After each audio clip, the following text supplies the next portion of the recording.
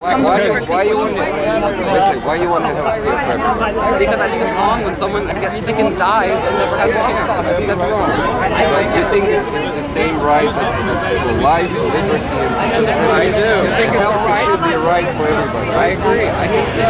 How about food? Is that a right? Yes, it is. So the government should provide us food too. No. I think No, no, no, where do no, you draw the line? If you want to be health, Human rights. health for everybody, you if you want to keep everybody healthy, because it's going to be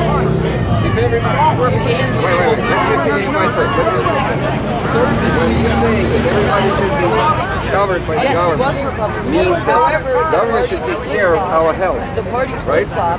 How are they going to take care of it? They have to implement all healthy lifestyle, healthy health lifestyle, healthy food, and so far and so on. You cannot create healthy human beings without healthy food, right? So the next step is supposed to be that we, to keep our costs low for the healthcare, have to provide healthy food for everybody. Do you understand it? If, if, And then after healthy food, then you, you don't have to live on the street. So we have to provide the housing for everybody. Because if there is no housing, if there is no healthy food, we then your health, the- your health going to decrease. And the you're going to unhealthy be. food out of school lunches and start and start young with healthy food.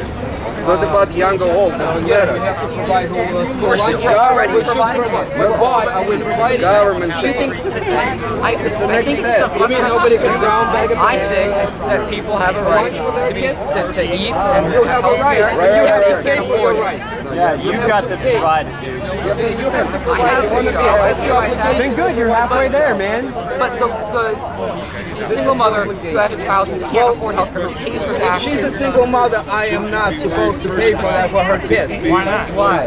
Why not? Because that kid has a father. But the father obviously is neglecting his duty. It's not our responsibility. It's So the government. is- everybody else. Fuck them. They, they made a mistake. No, no, no, no, no. You're not getting the point, dude. I want to live in liberty and freedom, and the government is supposed to be limited. And I suggest you read the Constitution. I have it right here. Okay.